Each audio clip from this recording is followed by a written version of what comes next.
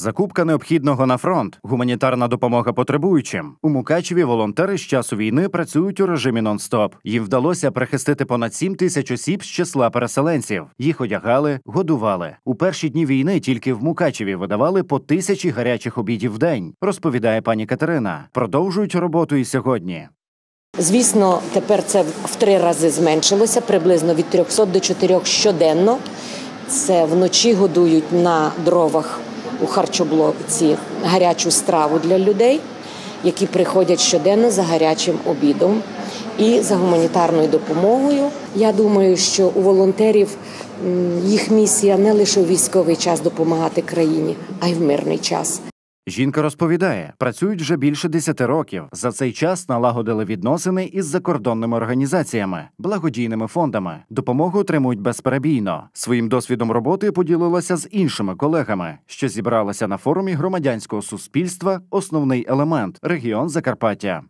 Тому ми сьогодні вирішили, що ми е, обговоримо дуже важливі теми: це співпраця з громадами, це волонтерство і благодійництво, покращення його і контролю, і проходження, і замовлення, і адресності отримання гуманітарної допомоги.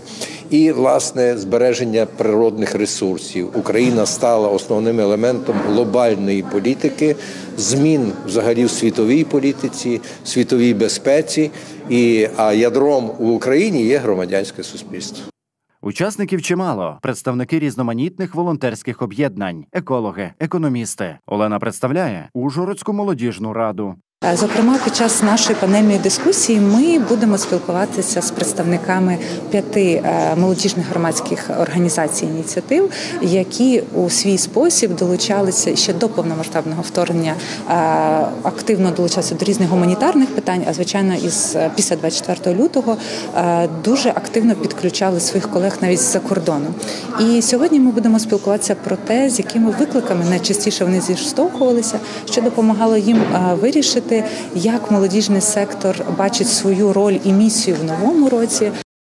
На питанні, як розбудовувати Україну вже після війни, увагу присутніх звернув Віктор Нестеренко, чоловік із Харкова. Там працював у реформі децентралізації. Днями повернувся з батьківщини, побував у деокупованих куточках області. Пошуку їх можливості для відновлення, тому що коли 16,5 тисяч мешканців залишилось 2 тисячі, з них 120 дітей, і більшість з них це люди поважного віку, які просто не змогли виїхати. Коли бачу повністю розбиті школи, будинки культури, адміністративні будівлі, будинки мешканців, і повертатися нікуди. Тому це комплексне питання по відновленню і поверненню людей.